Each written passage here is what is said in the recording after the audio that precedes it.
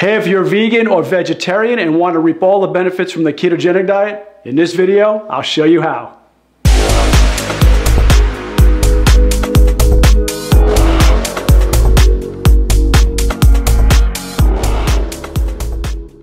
Hello and welcome to Total Health with Dr. Nick, where my purpose is to inspire, empower, and motivate you to live longer, healthier, and more abundant lives. And guys, I love this video because I get this question all the time, but I wanted to make sure I did my research first.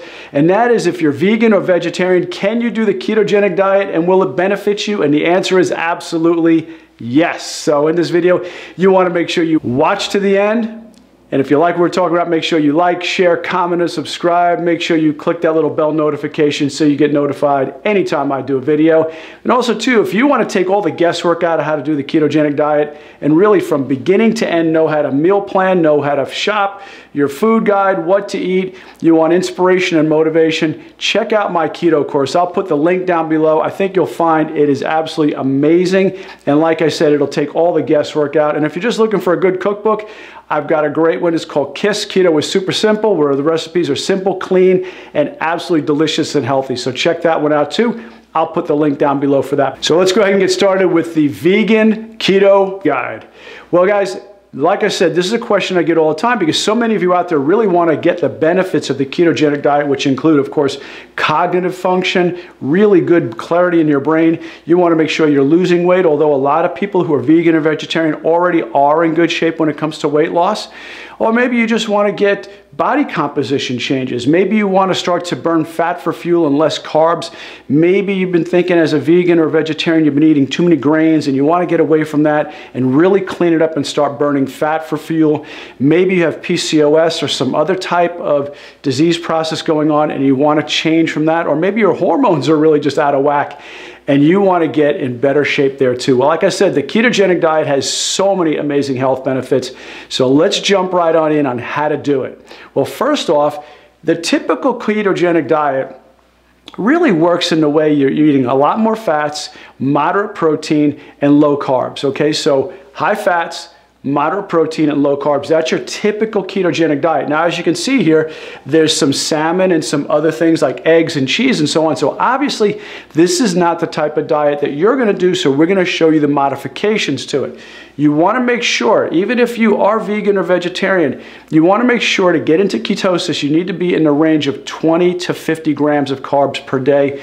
Really, that's about it. Okay, some of you can get away with a little bit more than that, but if you really want to ensure your success, stick to about 20 to 50 grams a day. But like I said, you're going to need to make changes because you can't have some of these food groups, as you well know. So when it comes to vegetarians or people who are vegan, you want to make sure that you get into ketosis by consuming high fat, plant based products like coconut oil, avocados, seeds, and nuts. So these are going to be your best choices when it comes to fats. But once again, we're going to give you a complete food guide at the end too. So stay tuned, watch to the end, because I'm going to be giving you the foods to eat and the foods to avoid. But this is really what you want to focus on. So once again, these are all plant based, they're fantastic sources of either polyunsaturated fats, monounsaturated fats or saturated fats. So these are really all the great ones that you can have. Coconut oil, coconut uh, products itself, avocado, avocado oil, nuts and seeds, olive oil, all great choices when you're on the ketogenic diet and you're vegan or vegetarian.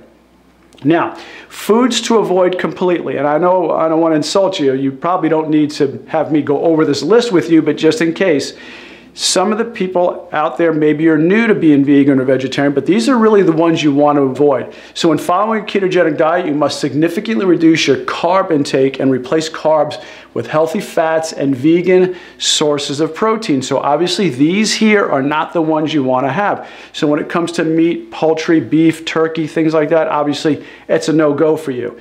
Dairy, you want to stay away from that too.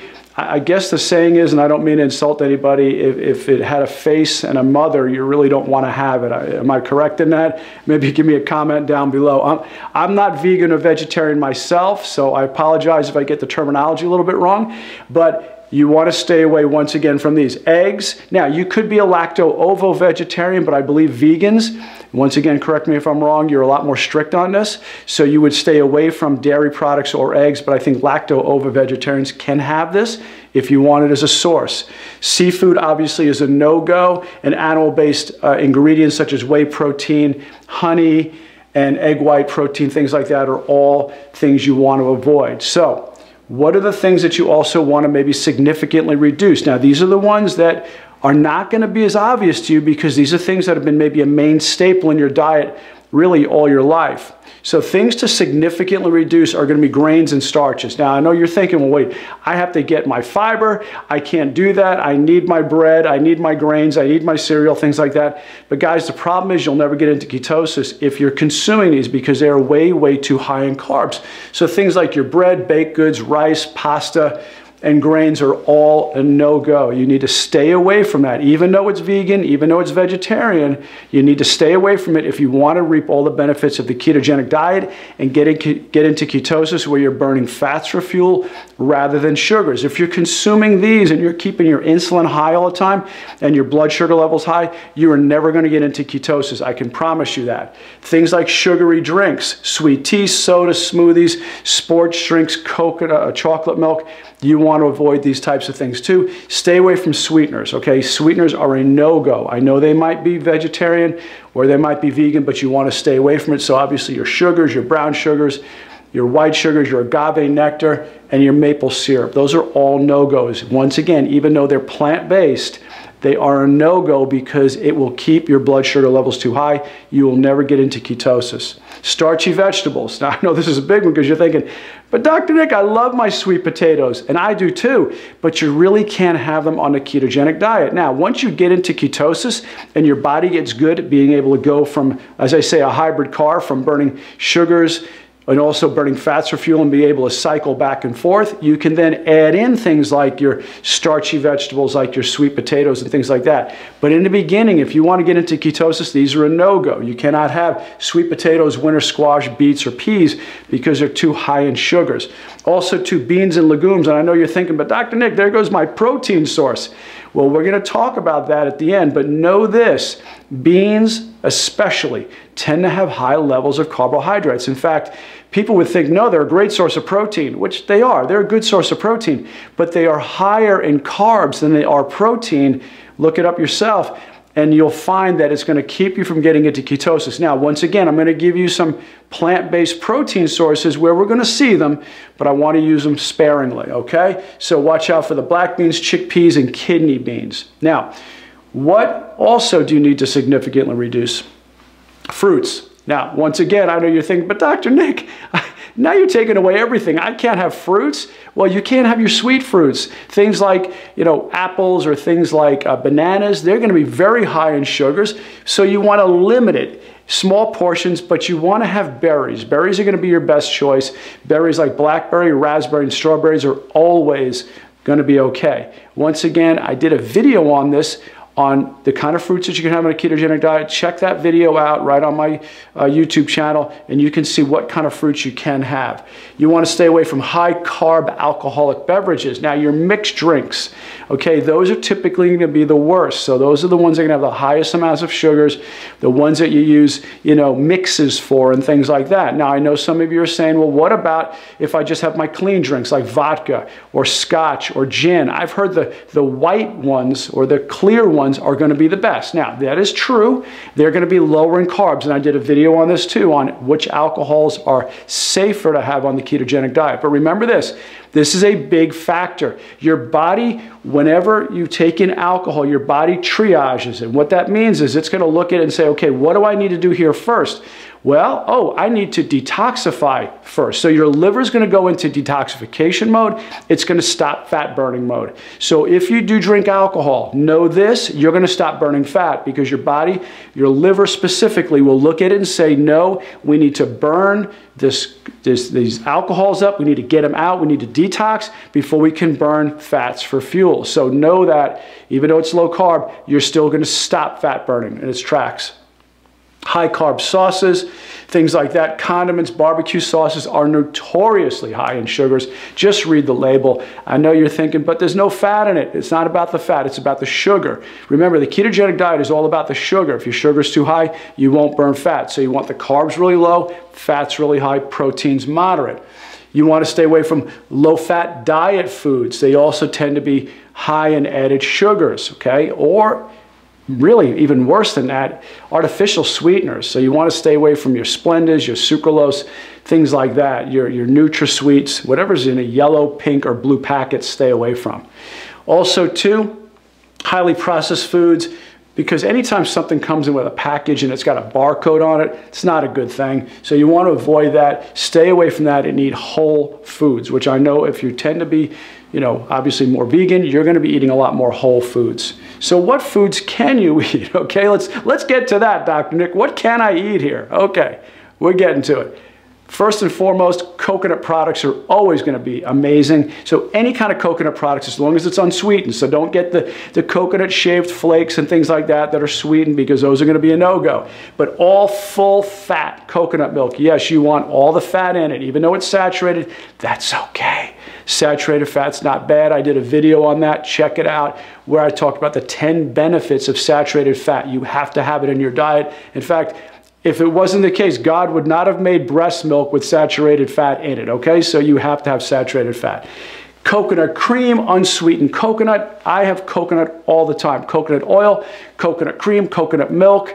I make a matcha latte that's to die for where I put, you know, of course, uh, the matcha green tea in a blender with some coconut milk, a little bit of low carb sweetener and it is unbelievable. I absolutely love it. It's one of my favorite things to have at night. Oils, olive oil, nut oils, coconut oil, MCT oil, avocado oil, macadamia nut oil, walnut oil. These are all good oils to have. Oils are great. As long as they're not vegetable oils, you want to avoid the vegetable oils because they tend to be very rancid because they use a lot of chemicals to uh, extract the oil from the nuts and the seeds. So stay away from nut and seed oils. They're not going to be good. And once again, I did a video on that too. You can check that one out. Pumpkin seeds are good. Macadamia nuts, like I said. Nut and seed butters are fantastic. Those are also great. So peanut butter Better yet, use Valencia peanuts. They're going to be a lot better for you because remember, the peanuts are grown underground and the skin, or the shell, I should say, is very porous, so they tend to get moldy. So when a child has a, nut allergy or peanut allergy, it's typically not an allergy to the peanut. It's, a, it's to the mold that's on the peanut. So use Valencia peanuts. They're going to be your best bet. Almond butter's fantastic. And guys, if you can get all this raw, even better. Don't get roasted nut butters. It's better if it's raw, of course, because you're saving all those vital enzymes, nutrients, vitamins, and minerals. Sunflower butter and cashew butter are fantastic. Okay, non-starchy vegetables, right? So this is the ones you can have. So these are things like your Brussels sprouts, your zucchini, leafy green vegetables, broccoli, cauliflower, peppers, mushrooms, things like that. These are your non-starchy vegetables that are going to be fine all day long to eat, okay? Celery, things like that too. More foods to eat, vegan protein sources. Now I'm going to get to this on the next slide, so don't go away, stick around because I'm going to give you some ideas for vegan uh, protein sources, but those are all good, but just uh, full fat tofu and tempeh are good. Uh, vegan full fat dairy, so coconut yogurt, okay, coconut yogurt, coconut kefir, they're all gonna be good. Vegan butter, cashew cheese, uh, vegan cream cheese, things like that. And you know all the sources. Like I said, I'm not vegan myself, but I know you know where to find a lot of these vegan cheeses to use. Avocados, I mean, I can't say enough about avocados. They're probably one of the most perfect foods on the planet. In fact, I was reading today if I could possibly grow an avocado tree in Georgia, that's where I live. Uh, I don't know if I can because the temperature is not that good, but supposedly certain avocados are actually better in cooler temperatures. So we're not cool, but we're, we do have cold season at the, uh, in, in the uh, winter. But berries are all good, blueberries, blackberries, raspberries, strawberries. They can be enjoyed, but once again, don't eat a whole tub of it, okay, because it will add up. Uh, condiments, nutritional yeast is a fantastic one. We'll talk about that in just a moment. Very high in protein, okay, it's basically made from bacteria, and it's great for cheeses. It has a nice cheesy taste to it, so you can put it on popcorn. I put it on my eggs, fantastic for this. Fresh herbs, lemon juice, salt and pepper, and spices are all fair game. Now, what are the vegan protein sources I was talking about? And once again, like I said, if you're already been on a vegan diet for a long time, a vegetarian diet, you know these sources as well or better than I do. But uh, seitan is a great one, and that's what they typically call wheat meat because it's basically made from the gluten of wheat. Okay, so wheat has gluten in it, of course, we know that, but the gluten is the protein portion. And depending on how much gluten is in something, it depends on how you can make certain pastries and pizzas and things like that. So very high gluten things give something a lot of elasticity. So pizzas, when somebody's taking a pizza and throwing it up in the air and opening it up, that rubbery, that, that elasticity of it is from the gluten. That's where it gets it from. But so this, you can actually grill it. It actually has a tendency to look or feel like steak. So this is a good source. In fact, it's 25 grams of protein per 100 grams of seitan. So, and I hope I'm pronouncing that correctly. But uh, so it tends to be a great protein source. And once again, if you're looking for that kind of a meaty taste, if, if you're new to being vegan or vegetarian, this is going to be a great source. Tofu, tempeh, and edamame, of course, are all from soybeans, young soybeans, so tend to be a very good source of whole protein. So this is a complete protein, and anywhere from 10 to 19 grams of protein per 100 grams of uh, tempeh, tofu, or edamame. Lentils are also a good source, okay? But once again, they're going to be a little bit high in the starch too. But lentils are a good source, 18 grams per cooked cup. Uh, chickpeas and beans, once again, we talked about that earlier. You said, but no, no, beans weren't good. Beans have in moderation. Just be careful. There's a, a, pro, a, a carbohydrate in it called adipodectin, and that one is a very high carbohydrate. And once again, like I said, beans typically are more than half of it is carbs. So you want to watch out, use it sparingly. But these are about 15 grams per cooked cup. So once again, they're also a good source. So add it in, but maybe not make it your main source of protein. And as I said before, nutritional yeast, this is a great one. This is made from a deactivated yeast, and it's about eight grams per quarter cup. So if you take that and you kind of figure that out, not that you'd ever put this much on your food because it's going to be really too intense in flavor, but if you multiply this out, this is a lot more than even the other ones. This is basically 32 grams per cup because it's 8 grams per quarter cup. So it's a great source of protein. You're just not going to eat a lot of it because you just sprinkle it on food. You're not eating a cup of it. But great source anyway. So guys, try these out. Once again, if you're vegan or vegetarian and you want to reap all the benefits of the ketogenic diet, you can do it. Okay, follow this guide. If you're looking for maybe a food guide, once again, check out my keto course. I'll put the link down below, and that'll give you a food guide as to how to meal plan and things like that. So that way you can get all, once again, the greatest benefits from it. Well, guys, I hope you got great information out of this. Try it out. Let me know what you think. Let me have your comments down below. If you're already doing this and you are vegan or vegetarian, let me know if there's other things that we can let our viewers know about too. Maybe something I didn't touch on, some of your tips and tricks that you do. So let me know those down in the comment below. Let me know what you thought about the video. Like I said, share it to people. And once again, don't go away. If you like this video, check out my other ones. I bet you'll love those too. Well, guys, this is Dr. Nick. I love and appreciate you. I will see you on the next video. God bless.